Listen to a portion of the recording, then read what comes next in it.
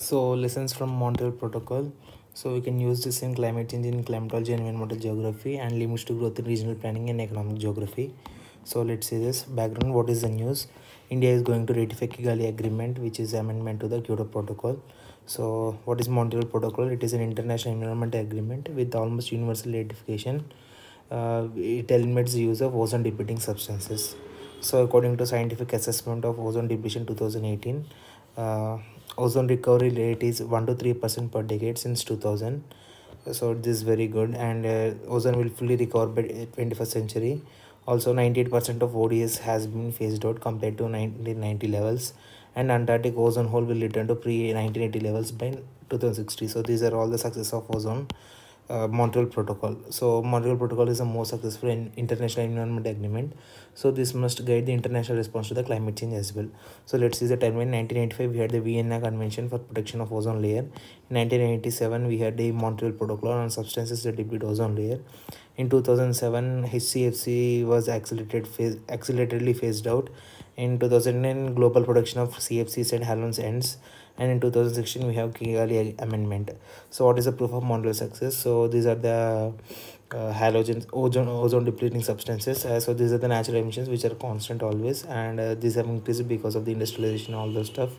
And this is the watershed moment where the Pro Montreal protocol happened. After that everything reduced. So this is a proof for that. So what are the reasons for success? First one is uh, pointing out the cause and effect. So uh, cause is ozone hole and the uh, effect is the health impact. So it was able to directly correlate. The agreement is binding. It is clearly time bound. It gives mandatory timetables which can be amended later. Also limited number of chemicals are targeted. Unlike climate change which targets too many chemicals and uh, everything stuff and uh, compliance is non-punitive so it helps the countries to come back into compliance even if they slip out. There is independent tech and economic assessment that is uh, how developing developed how helping developing countries with respect to technology and uh, fund transfers and flexibility to include more sector controls in future and universal ratification is there and cbdr rc that is common but differentiated responsibility and uh, respective capabilities.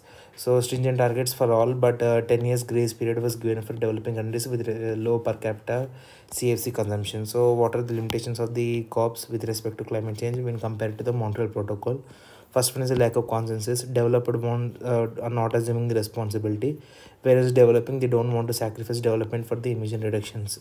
Uh, next these are all voluntary targets uh, mm, which are nationally determined contributions or ndcs no enforcement mechanisms are there. With respect to uh, ldc and developing this is a huge problem. And uh, lacks lacking universal ratification. For example iran iraq turkey libya they are not uh, signed the Paris Agreement and uh, ineffective financial mechanism. For example, Global Climate Fund uh, it had the aim of 100 billion per year to be mobilized by 2020, but in reality, only 2020 uh, it will be only possible by 2023 and uh, so so what are the lessons that have to be learned from the montreal protocol? First one is the sectoral approach so divide climate problem into different sectors and approach each sector. For example montreal targeted only ozone cbd or rc must be definitely there. So we have to transfer finance and tech to developing countries so they can implement the climate change uh, related measures. And uh, montreal had the multilateral fund to implement a financial and tech transfer to developing binding time target and measurable commitments. So these are three keywords for with respect to commitments. Now climate finance it, there must be periodic review and uh, the finance must be replenished uh, from model we can what we can learn is it had three years short commitment periods and uh, review later. Whereas uh, climate change uh, it uses long long long estimates. So public support was garnered by scientists and advocates. So people boycotted bug sprays haze sprays etc because of the publicity given by these advocates. And now ipcc is trying to play a similar role with respect to climate change.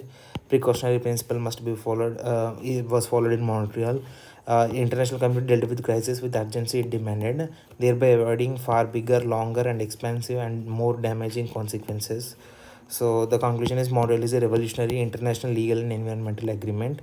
It bridged the north and south divide with respect to spread of the ozone safe technology. Also, it helped combat uh, climate change because the protocol reduced 135 billion ton carbon dioxide equivalent emissions.